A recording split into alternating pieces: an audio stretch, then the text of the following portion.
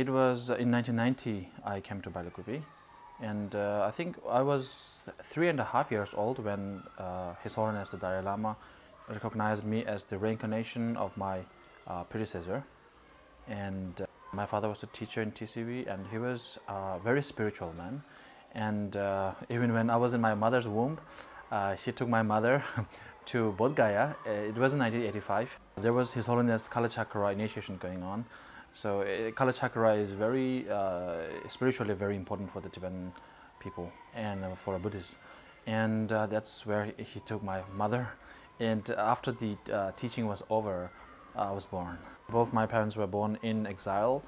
My mother was born in India. My father was born in Nepal. He told me about Tibet, the land being very, uh, you know, rich in the agriculture and a lot of mountains, beautiful mountains. As a child, uh, you know, uh, I just know that you know um, there there wasn't any sort of a hint of uh, nation nationalism or anything, but I felt you know something that is very much mine was taken away. You know, like when I was told about the uh, Tibet being invaded and what the Chinese, uh, the communist Chinese did to the monasteries, the abbots, the scholars, the teachers, you know, massacred many of them and did a lot of horrible things. When I heard that, like you know, I was, I felt like you know deprived of uh, uh, something.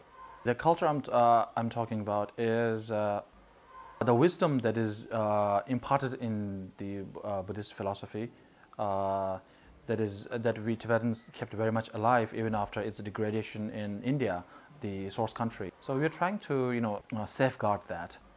Have a large number of monks uh, who uh, put effort into studying those teachings, those uh, traditions that we hold we hold very important. The tradition we are trying to uh, protect or- safeguard is vast, and uh, actually you need uh, lifetimes dedication to you know get it through. That's why we need uh, it. It has to be a ordained community. You know, it's not just about being a monk or not being a monk. It's more about uh, a community that is specially tasked with preserving these things for this generation as well as the next generation, and uh, especially to the generation that will be born or that will be in Tibet when China uh, eventually gives uh, gives into Tibet.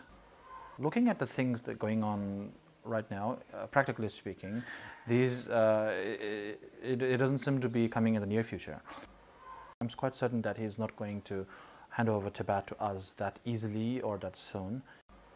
Yeah, we would very much want to go back uh, as, uh, as as soon as we can. Of course, as an as an exile, the original or real home is in is, is, is Tibet, and we want to go back. But as I said, it's uh, very difficult at the moment. I'm a youngster, and not just uh, not just the elders. Uh, to many of youngsters, even people younger than me, His Holiness is like uh, the Buddha of compassion in human form. Without him, I think there won't be the exile community. Uh, because of him, the settlement was there, and because of the settlements, the monastic also existed. And as you can say, because of him, we are here.